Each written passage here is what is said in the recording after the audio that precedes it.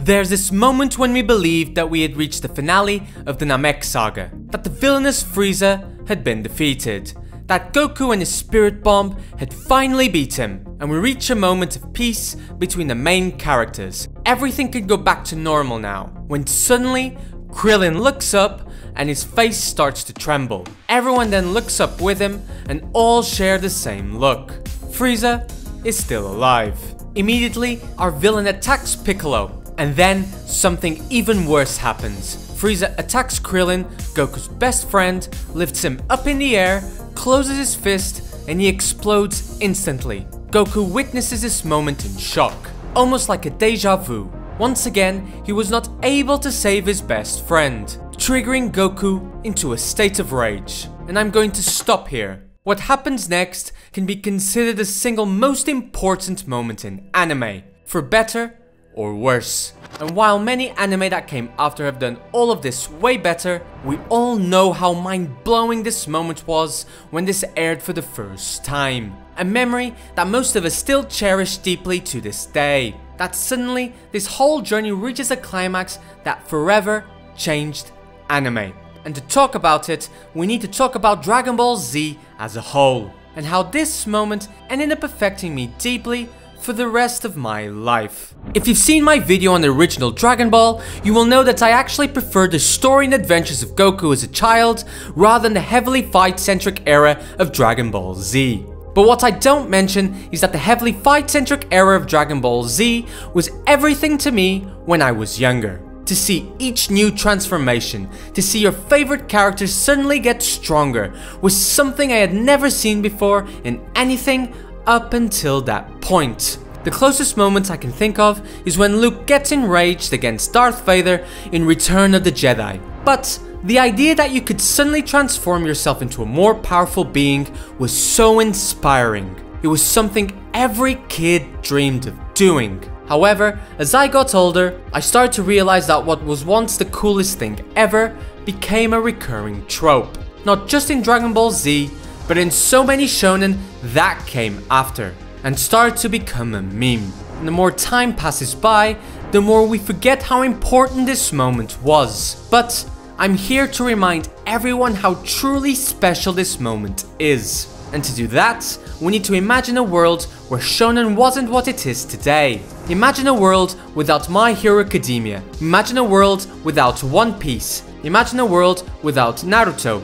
Imagine a world without Bleach. And imagine a world without Hunter Hunter. Imagine that all of these manga and anime simply did not exist. And that world existed for a very long time. But here comes a manga and anime that defied everything that came before it. One that reached heights never before seen in Japan, and eventually reached every corner of the world. It blew up. Where I come from, everybody knew about it. Everybody was watching it. The whole country stopped to witness this fight-centric cartoon. Yes, cartoon. This was before people knew what anime was, before it became the community we are now so proud of being a part of, before seasonal anime existed. Because if not for Akira Toriyama, if not for Dragon Ball and Dragon Ball Z, the world of anime would be very different than what it is today. It redefined Japanese animation in the same way Star Wars redefined cinema. What's even more crazy is that Dragon Ball was never really supposed to be what it became. And to explain why, we need to talk about Akira Toriyama.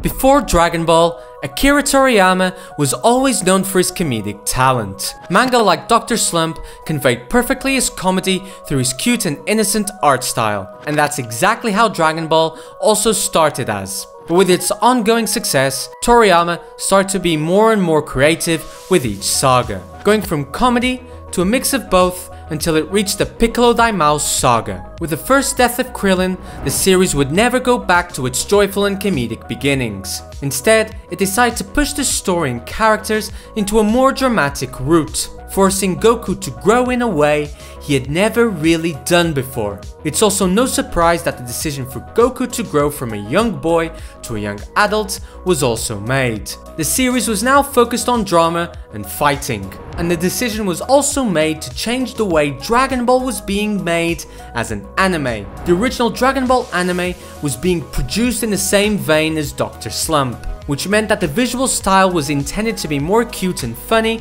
rather than the serious tone that it was becoming. And while the manga was always called Dragon Ball, Toei Animation felt that creating a new anime for the upcoming sagas would be the right move to not only portray the narrative better, but also bring in more money and viewers for the show. So, after the 23rd Martial Arts Tournament saga, Toei Animation brought in two key creators from Saint Seiya to helm this new anime. This new anime would be called Dragon Ball Z. For many people, especially those who lived in the United States and United Kingdom, Dragon Ball Z would be the first entry into this world. They had no idea that they were jumping in midway through the story. They had no idea that the protagonist started as a young boy rather than the adult and parent he had become. They had no idea how much effort it took him to finally win the martial arts tournament and they had no idea how incredible it was to witness Goku and Piccolo, the protagonist and villain of the previous arc, forced to fight alongside each other against someone who was way stronger than they were. But it didn't matter. It didn't matter how or where you started watching Dragon Ball, because once you started, you couldn't stop. The ongoing narrative that the show had glued you to your seat, with each saga, with each punch, with each sacrifice, to witness the stakes rise higher and higher, and to see our main characters exceed their own expectations. Because Dragon Ball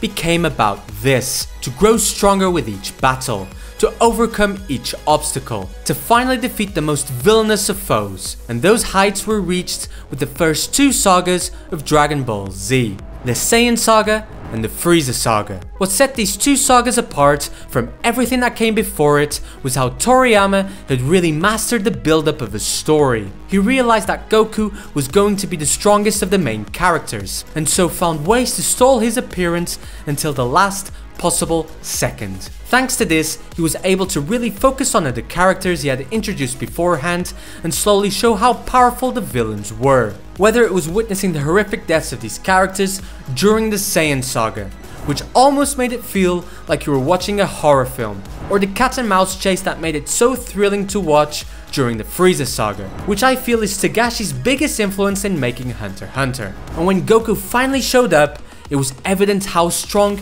he had really become, making these moments really powerful. But for it to not become stale, Dragon Ball needed something that had never been done before. Something that would change the game. And it's here where we arrive at the beginning of this video. After Goku launches the Spirit Bomb, our protagonists believe that Frieza, the most villainous of foes, has been defeated. Only for him to reveal that he is still alive. And that's why they are so scared here. Our heroes have tried everything to defeat him, but he is just too strong, with important characters losing their lives in the process, including the villain of the previous arc. Not even Goku, who had gotten so strong, came close to doing so. Frieza is still alive. Nothing can defeat him. Our villain suddenly attacks Piccolo, and then, in one fell swoop, kills Krillin. Goku's best friend, Goku's first ever rival, Goku's companion throughout all of his life. And this time, Krillin was supposedly gone for good, because he had been wished back to life once already. We have gone through everything with Goku. You got to know him, see his journey, and eventually became about him getting stronger and overcoming each obstacle, with each tournament arc, with each saga, becoming more and more serious. We saw his pitfalls, his sacrifices, even his death. And we saw him come back even stronger. We saw him reach heights never before seen and face the strongest people in the universe. We witnessed the tension that kept us glued to our seats, that kept us wanting more, that kept us rooting for Goku, only to see all of his efforts in vain and lose people dear to him again. We know what he is feeling. The rage that is starting to consume him like never before. And now, the most villainous of foes was threatening to kill his own son. Goku can't take it anymore. Rocks lift into the air. Lightning strikes the Namekian Sea. His eyes become white. and for a moment, his hair glows yellow, until he screams as loud as he can, a yellow aura surrounds him, and suddenly transforms into the legendary Super Saiyan. The moment that forever changed anime was here. To give you an idea, this was the first time anybody had seen what a Super Saiyan was. The whole time during the Frieza saga, we had heard of the legendary Super Saiyan, but had no idea what it looked like. There was no frame of reference, nothing, until this happened. I remember watching this for the first time and was in complete awe, especially because the dubbing in my home country never mentioned the legendary Super Saiyan during its build-up so we were even more unaware of what this was. But it's a moment that became really memorable to everyone who was watching this event unfold. And from this point on, anime had officially changed. This moment really impacted everything that came after, with Luffy's transformations in One Piece to Gon's most emotional and depressing scene in Hunter Hunter to Ichigo's Bankai in Bleach. All of this would not exist if not for this to suddenly see our protagonist who had such a striking look with his spiky black hair and his innocent smile now have this golden yellow hair with this enraged look with his eyes set on defeating the villain in front of him. This is a defining moment one that might not seem like much nowadays, but it was everything back then. It inspired so many kids to believe in themselves, that they too could become even greater, that they could go even further beyond, and become a legendary hero. It shook everything in its path, and we still feel its remnants to this day. And what's funny is that one of the reasons that this decision was made was to help with the illustration of the manga. Having a character not have black hair meant that the coloring of it would ease the stress of Toriyama's assistants when finishing each chapter, since there was no coloring that was needed to be done with Goku's hair as a Super Saiyan. And so, having Goku go through this transformation wasn't just a narrative decision, but one that helped quite a lot when making the manga itself. We must remember that Toriyama never intended for the manga to be this long. Him and his assistants were working constantly every week to create each chapter, and as time went along, you could feel this stress in each page. What once were beautifully illustrated pages with the beginning sagas of Dragon Ball, now were happening less and less. The cracks were beginning to show. Proof of that was how this iconic moment, considered by many to be one of the greatest moments in anime, if not the most impactful, became a recurring trope in its later sagas. Because Goku wasn't the only one who was able to transform into a Super Saiyan, others could too. And even transform into a Super Saiyan 2, or 3, or fuse with each other, or in other iterations of Dragon Ball where Toriyama had little to no involvement in its creation, go even further with this trope. What once felt like something special gradually lost its meaning. Because for me, a transformation isn't just about becoming stronger, but what someone has to endure within to become stronger. There are moments that this is understood to great effect, with Gohan's great character arc shown throughout each saga, and finally tapping into his inner potential at the end of the Cell saga, which is where I felt the manga and anime should have ended because all of the storylines were wrapped up quite nicely. But funnily enough, neither this moment with Gohan or the moment with Goku are my favorite transformations in Dragon Ball Z. That moment belongs to another. We all remember the first moment that Trunks appeared on screen. We had no idea who he was. And even more baffling was the fact that this kid was going to face off Frieza. And then,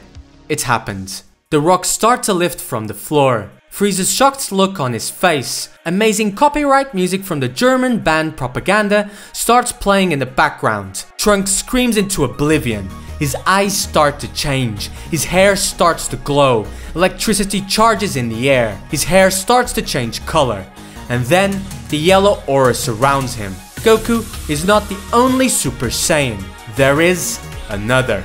This scene is considered by many to be one of the coolest scenes in all of Dragon Ball, but this actually isn't the scene I wanted to talk about. Rather, I want to talk about Trunks' first ever transformation in the storyline, and that comes in one of the many Dragon Ball Z movies that were made, the one titled The History of Trunks. This movie was always hard for me to watch as a kid, to see the devastating events before Trunks went back in time. To see how life was so different because of these two androids. To see how scary they really were. And to see Gohan having to basically deal with this situation on his own. But he found some hope in Trunks. If he could train Trunks to become a Super Saiyan, then maybe they would have a chance to defeat them. Just maybe. But it was not meant to be.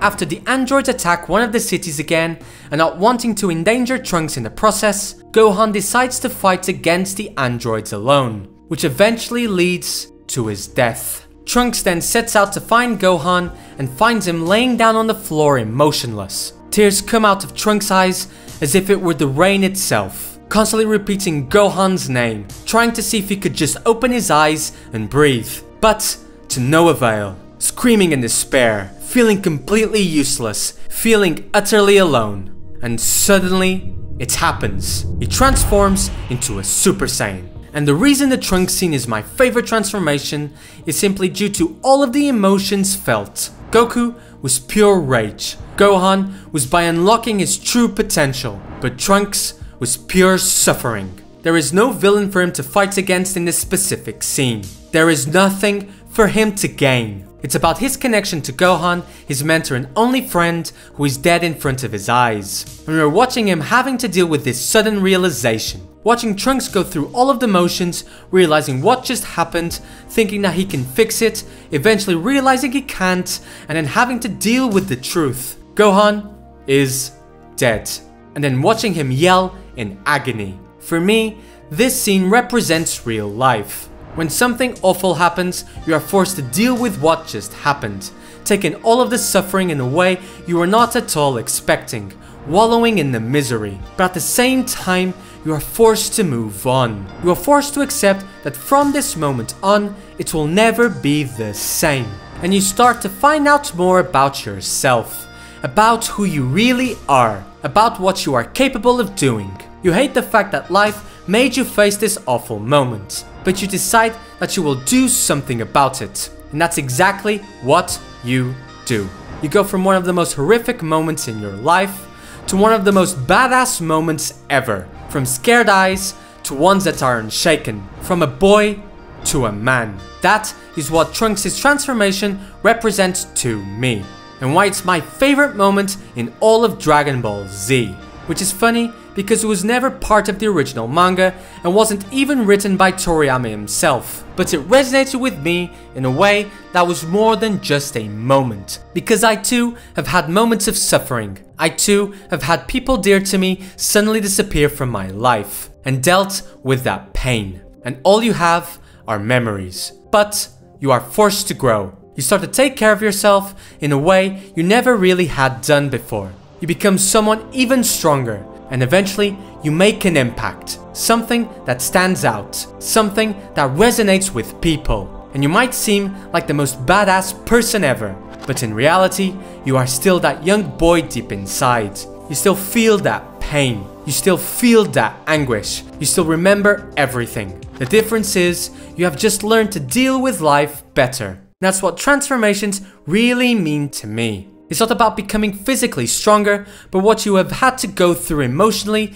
to become that person. And anime has done this so well throughout the past decades, to develop characters through the toughest of times, to make us aware of everything that is going on, to force us to grow in ways we couldn't foresee, and to make us realize that we are the protagonists of our own story. And the most recent anime I watched that really made me realize this was Ping Pong the animation. That eventually the hero will appear. And that hero is us. I am the hero of my story, just like you are the hero of yours. We might forget that we are, but eventually we are reminded of it. As I have been when watching so many anime in the past. And the first time that ever happened to me was when witnessing this moment in Dragon Ball Z. It's not just the moment that forever changed anime, it's the moment that forever changed my life.